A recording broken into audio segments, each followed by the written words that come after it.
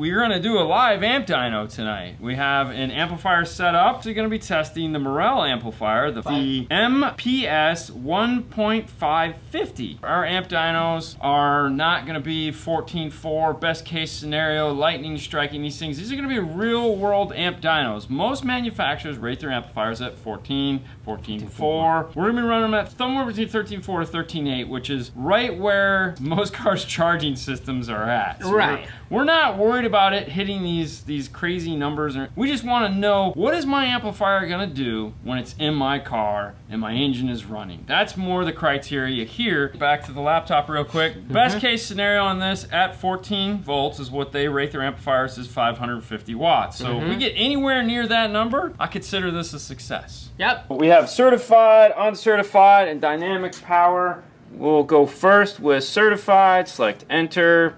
We're gonna select mono. Yep. Yep, next. And then the load is a 2 ohm load. We'll Mhm. select enter.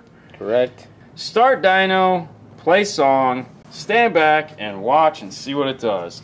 486 certified, 1% distortion. That's not bad. No, it's not bad. We That's are right, at we're at 13.6. All right. Yeah. Do an uncertified. We'll go to 2 ohm, select enter, start ohm, dyno, perfect. press play. Here we go. Dyno's running, running. Ooh, ooh, ooh, ooh. Whoa. Ah, a little bit more. Give it to me, give it to me. Oh, 547 at 13.62 2 ohms.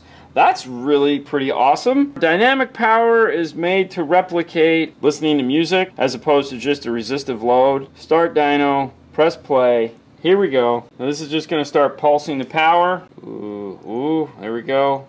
There we go, a little bit more. 548 watts at 13.6 volts.